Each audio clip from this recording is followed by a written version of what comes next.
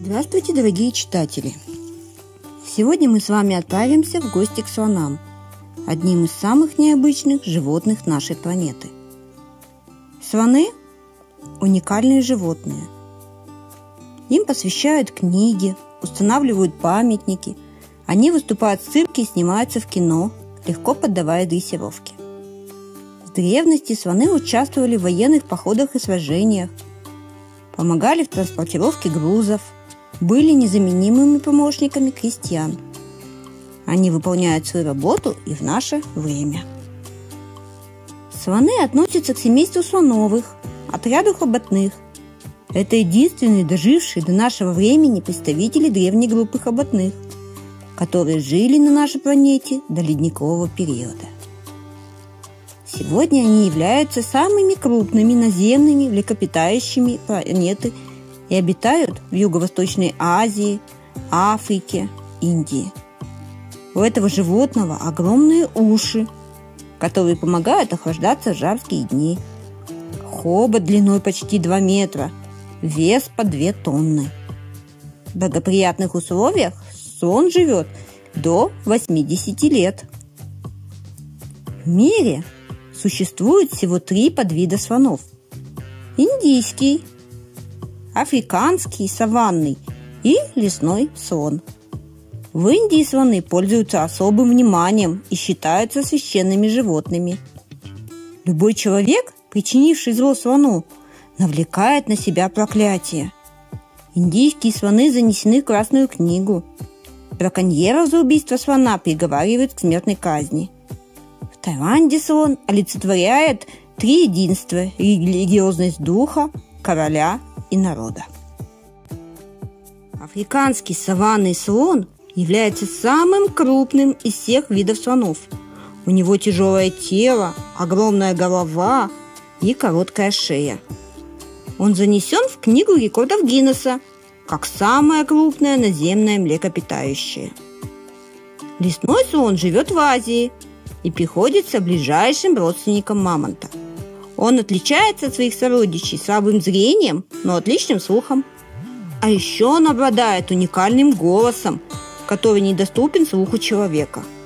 Этим голосом он переговаривается с сородичами, предупреждая их об опасности. Самого известного из всех слонов, когда-либо живших на планете, звали Джамбо. Слава пришла к нему еще до того, как он попал в цирк. В лондонском зоопарке он был любимец публики и катал ребятишек на своей спине. Посмотреть на слона-гиганта приходили маленький Уинстон Черчилль и Теодор Рузвельт. Посещала слона и английская королева Виктория. В 1882 году Джамбо купил американский слоумен и владелец цирка. Отец слона за океан вызвал настоящий бунт. Многие англичане выражали протест – когда судно со знаменитостью на борту причалилось к берегу Америки, звездного слона встречали толпы людей. Играли три звуковых оркестра, сопровождая Джамбо до самого цирка. В Штатах слон стал очень популярным. Он фактически не проявлял способности к дрессировке, но подкупал своим обаянием. В стране появились гастрономические блюда и самые разные товары марки Джамбо – и доходы цирка увеличивались. Слон Линь Ван, которого на Тайване все называли дедушкой, попал в книгу рекордов Гиннесса как слон, который прожил самую долгую жизнь неволи. Судьба у него была непростая. Во время Второй мировой войны слон привозил различные грузы, в том числе и артиллерийские снаряды, и неоднократно попадал в плен – в 1952 году слона отдали в зоопарк в городе Тайбэй, где он прожил до конца своих дней, встретив 21 век знаменитостью и народным любимцем. Он умер в 2003 году в возрасте 86 лет. Великан Шанго был одним из самых крупных слонов. Его рост 4,5 метра, вес почти 5,5 тонн. Азиатский слон был настоящей звездой московского зоопарка. где он прожил 20 лет. В 1941 году Шанга из-за огромных размеров не отправили в эвакуацию вместе с другими животными зоопарка. Он не помещался ни в один грузовой вагон. За годы Великой Отечественной войны Слон пережил бомбежку Москвы и помогал тушить зажигательные снаряды. Во время бомбежки Шанга пережил личную драму. Смерть своей спутницы Сванихи Джиндау. Его второй супругой стала Сваниха Молли, которая родила великану двух сыновей – москвича и карата. Слонам посвящены интересные произведения. Давайте с ними познакомимся. Замечательная история о том, как большой и умный слон Томми пришел в гости к больной девочке Наденьке и вернул интерес жизни. Описывается в рассказе Александра Куприна «Слон». В рассказе Бориса Житкова про слона описан непосильный и изнурительный труд слонов в Индии.